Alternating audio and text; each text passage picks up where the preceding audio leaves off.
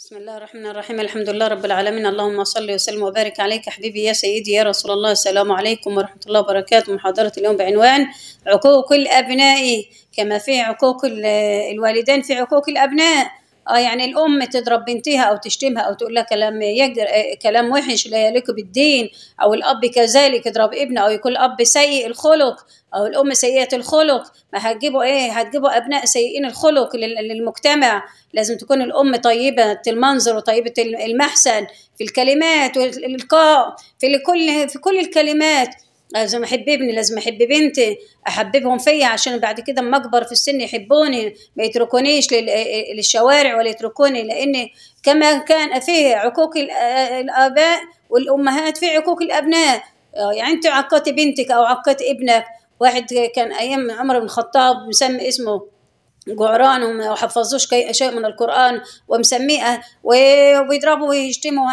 راح لعمر بن الخطاب وقال يا إيه، بيشكي له بقى. قال له يا هذا يا رجل إيه، يعني انت لقد عق- عقدته قبل أن يعقك. يعني انت انت عملت له ما عملتلوش حاجة عملت له شر.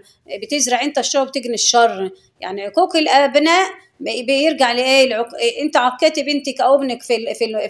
في, ال... في الماضي ففي المستقبل أو في الحاضر في يوتشر لقيته لقيتها بتعكك أو ابنك بيعكك لأن أنت شتمته وقلت له كلام بديهي كلام سيء. الرسول ما علمناش كده قال الدين حسن الخلق الدين القويم الدين الإسلام لازم أتقي الله حيثما كنت واتبع السيئات الحسنة. وخالق الناس بخلق حسن.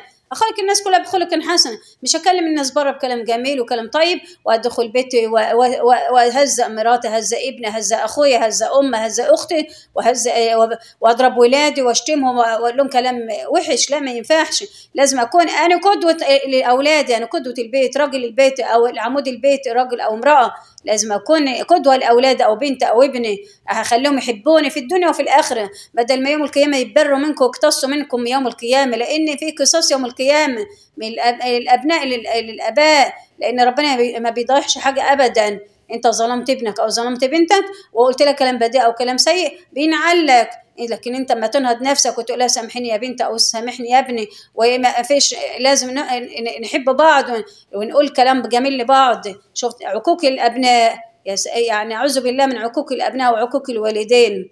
نحافظ على أولادنا لأن ربنا رزقك فيه ما بيرزقهمش وبيقعدوا سنين وأيام وشهور وليال وما بيخلفوش لأن الأبناء رزق رزق ساقه الله إليك. لازم تحافظ عليه بكل الوسائل وكل الطرق عشان يشهد لك يوم القيامة ويدخلك الجنة. اللهم اكبر خاطر والسلام عليكم ورحمة الله وبركاته.